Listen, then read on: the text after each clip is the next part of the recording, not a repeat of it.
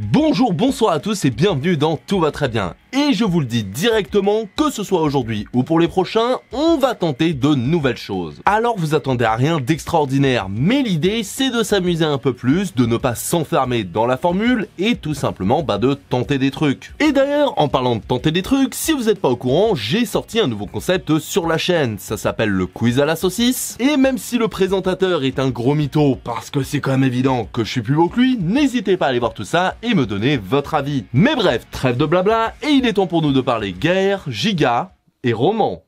Les gens qui réussissent et les gens qui ne sont rien. C'est pas parce que j'ai pas de cravate qu'il faut me couper. Calmez-vous, madame, ça va bien se passer. Tous, Christine, tous. Et nous n'avons qu'une planète et nous sommes en train de tout détruire. Faites mieux. Bon alors, il s'est passé quoi depuis la dernière fois? De bonnes nouvelles j'espère Ouais, vous vous en doutez, ça aurait été trop beau. Et depuis le dernier Tout va très bien, et ben ce qu'on peut dire, c'est que le gouvernement n'a pas chômé. Bon alors déjà, on a Manu qui s'est dit que c'était quand même une super bonne idée d'aller en Ukraine pour faire pampan avec Poutine. Non mais j'imagine qu'à force, ben police contre manifestants, au bout d'un moment, c'est trop facile. Le gars a besoin de challenge. Et c'est donc comme une fleur que ce lundi 26 février, Jupiter évoque la possibilité d'envoyer des troupes occidentales sur le sol ukrainien. Des propos qu'il confirmera ce 16 mars, n'excluant pas l'envoi de troupes françaises. Ok, donc pour la Palestine, ça va se foutre à base de oh là là les terroristes, tiens Netanyahou prend des armes, vas-y poto. Le tout avant de retourner sa veste quelques mois plus tard en faisant le pacifiste à base de non mais moi je suis pour la paix, tenez, prenez de la bouffe, prenez des médocs, mais en continuant d'envoyer des armes à Netanyahou. Bien sûr. Mais par contre, de l'autre côté, quand il s'agit de blanc, euh, je voulais dire de l'Ukraine, alors là le mec, il s'engage. Au point de mettre de l'huile sur le feu sur un sujet qui est déjà tendu, je pense qu'on peut le dire, risquant de renforcer un conflit en Europe, et on parle pas de conflit avec n'importe qui là, on parle de Poutine. Mais là, non, il voit pas le problème, on envoie des troupes. Alors je sais pas si Macron pense qu'une guerre peut l'aider à monter dans les sondages, s'il a vraiment la volonté d'aider l'Ukraine, ou si juste il réfléchit pas avant d'agir, mais ce qui est sûr, c'est que quand le mec nous parle d'ambiguïté stratégique, perso, j'appelle ça un doux euphémisme.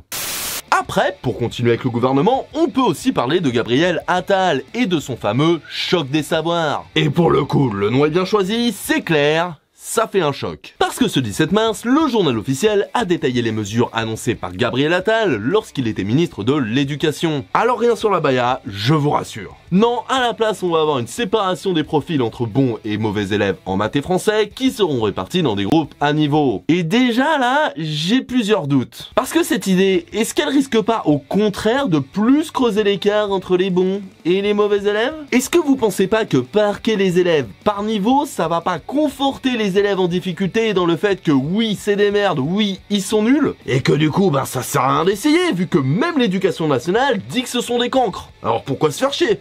Enfin, dernier petit détail, vous allez faire comment niveau prof? Non, parce que vu les effectifs et les classes surchargées, en plus d'être injuste et débile, eh ben ça a l'air compliqué à mettre en place votre histoire. Alors à côté de ça, on aura aussi les profs qui décideront des redoublements, les parents, eux, n'auront plus la décision finale. Bon déjà, ça veut dire que si l'élève tombe sur un mauvais prof ou un mauvais proviseur, y aller baiser. Mais après, je me dis que c'est vrai quand même qu'une décision collective entre le proviseur, l'équipe pédagogique, les parents et l'élève, parce que bon, y aller quand même un peu concerné quand même, ce serait quand même très dur à mettre en place tout ça. Mais regarde tout ça, bon, ces petits joueurs, parce que la mesure, la cerise sur le gâteau de ce choc des savoirs, ce sont bien sûr les classes préparatoires à la classe de seconde. Alors en gros, pour faire simple, à partir de la rentrée 2025, un élève qui n'aura pas son brevet ne pourra pas passer en seconde et devra intégrer une classe prépa lycée. Bon alors déjà, tu mets prépa et collège dans la même phrase, j'ai envie de me flinguer, mais au-delà des cancres comme moi qui sont de très mauvaise foi, c'est une très bonne idée, parce que oui, effectivement, on ne le dit jamais assez,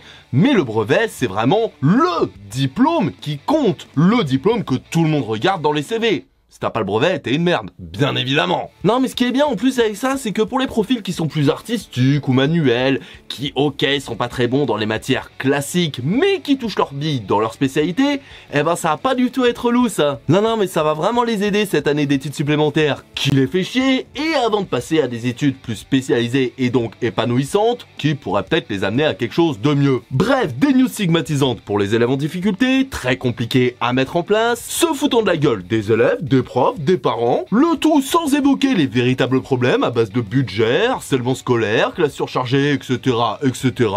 Que de la forme, zéro fond. Non mais y a pas, avec Gabi, on est rarement déçu.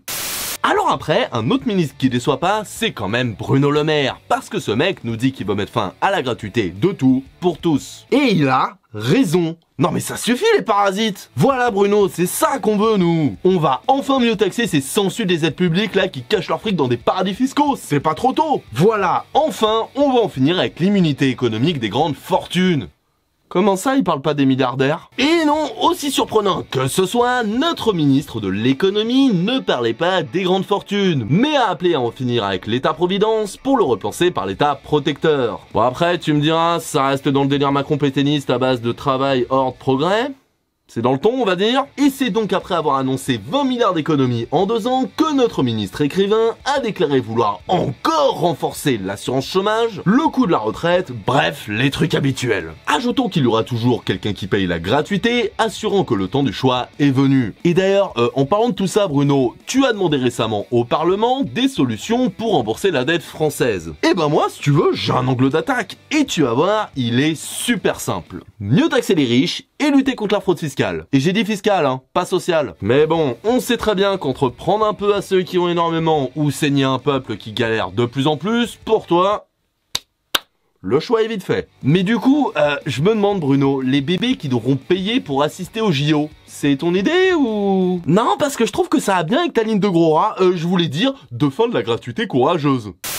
Après, ben si le gouvernement actuel vous aurait pile, et eh ben faites comme moi et regardez ce qui se passe au niveau des anciens ministres. Non parce qu'avec leurs conneries, tout de suite, on relativise. Par exemple, quand tu vois que l'ex-ministre de l'éducation, Najat Vallaud-Belkacem, appelle à rationner internet en imposant un nombre limité de 3 gigas par semaine à tous les internautes français, et pour vous donner une idée, 3 gigas ça équivaut à une heure de Netflix en haute définition, donc oubliez Google, Insta, oui, même le porno.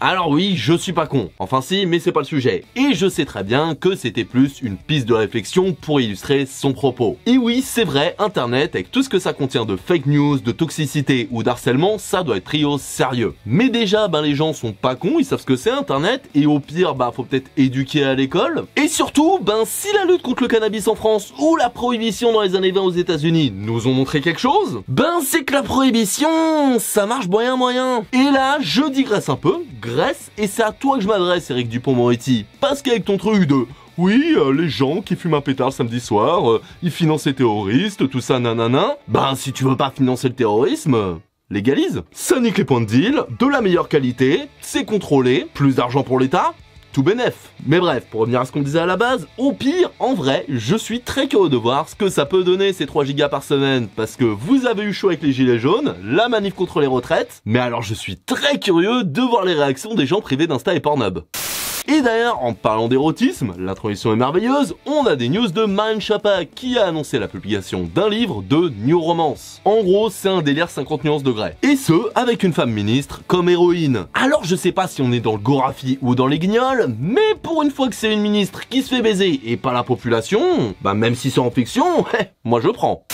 Et pour continuer, on va parler d'Olivier Véran, notre ancien ministre de la Santé qui a annoncé reprendre la médecine. Alors vous allez me dire, ben ok, il fait ce qu'il veut. Et s'il était pas député en même temps, ben oui, clairement, il ferait ce qu'il veut. Parce que je suis désolé, mais député et médecin, c'est quand même deux jobs un peu importants, donc tu fais l'un ou l'autre si tu veux vraiment être efficace. Mais moi en fait, ce qui me perturbe le plus, c'est que, étant donné qu'il est neurologue de formation, gars, eh ben je comprends pas pourquoi maintenant il veut se tourner vers la médecine esthétique. Alors, je ne dénigre absolument pas ce domaine, hein, qu'on soit d'accord. Et que ce soit de la chirurgie réparatrice ou tout simplement pour se sentir plus beau ou belle, c'est votre corps, vous faites ce que vous voulez, et force à vous d'ailleurs. Tant que vous êtes heureux et heureuse, moi ça me va. Non, moi c'est plus le fait qu'ils veulent aller en esthétique qui me dérange, parce que je sais pas, mais ok, il le dit lui-même, la neurologie a évolué depuis son départ, donc il est pas à jour, et ça, je peux l'entendre. Mais il pourrait pas juste se mettre à niveau dans sa spécialité au lieu de se former dans une nouvelle? Parce qu'il faut qu'il se mette à niveau dans les deux cas. Non, mais après on va dire que je suis mauvaise langue, mais quand même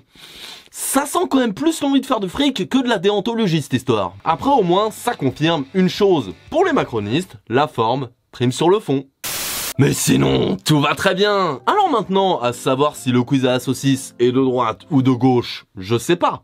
Mais ce qui est sûr, c'est que le présentateur est con. Voilà donc avant de terminer, petit rappel pour vous dire que j'ai un nouveau concept sur la chaîne, que ça s'appelle le quiz à saucisse, que je me suis vraiment marré en le faisant et j'espère que vous vous marrez vous aussi à aller voir ça. En gros, ben, il va y avoir 5 questions de société, d'où le titre, la saucisse, vous l'avez, vous êtes merveilleux, avec un présentateur barré, quelques invités barrés aussi. Ceux qui ont vu les anciens Tout va très bien, j'avais déjà fait un truc un peu dans le genre dans les TVTB, mais je voulais vraiment faire un concept à part et j'espère que vous que vous me donnerez vos retours parce que là c'est un pilote donc j'ai encore des petits trucs à régler quoi. Alors je vous rassure, je n'arrête pas les Tout va très bien pour le quiz à la saucisse. Mais je referai de temps en temps, que ce soit en plus des Tout va très bien ou à la place des Tout va très bien, et en ce qui concerne les TVTB en eux-mêmes, comme je vous l'ai dit en intro, j'ai vraiment envie de changer la formule. Parce qu'avec le temps, je suis allé un peu trop dans un côté éditorialiste, un côté journalistique, un côté qui se prenait trop sérieux, et moi à la base je voulais vraiment faire un bulletin d'information, actualité, humoristique, où certes je donne des infos, où je donne des arguments, et petit à petit j'ai un peu dérivé de ma ligne directrice initiale, ce qui était pas plus mal, ça m'a appris beaucoup de choses, mais j'ai envie de revenir à quelque chose de plus simple, de plus court, et pour pouvoir me permettre de faire d'autres projets à côté, que ce soit Twitch, n'hésitez pas d'ailleurs à me suivre sur Twitch, Blazy TV TV, ça fait plaisir, mais aussi reprendre un peu les vidéos sur Blazy, d'autres projets pour tout va très bien, bref j'ai envie de me diversifier, de ne pas m'enfermer que dans ce format, j'espère que vous comprendrez, j'espère que vous regarderez le quiz à la saucisse, que vous me donnerez vos retours, que vous continuerez à regarder la vidéo, et je crois que j'ai tout dit, du coup ben...